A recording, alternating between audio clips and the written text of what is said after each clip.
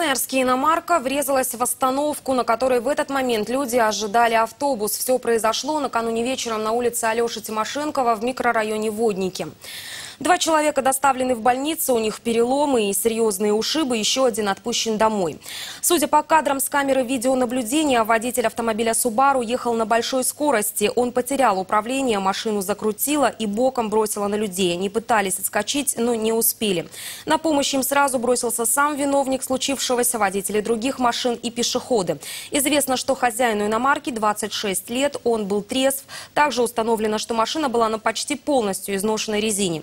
Со слов очевидцев, у водителя в автомобиле находились еще одни колеса. Он пояснил, что в ближайшее время намеревался поехать в шиномонтаж, чтобы их поставить, но не успел. Получили травмы три пешехода.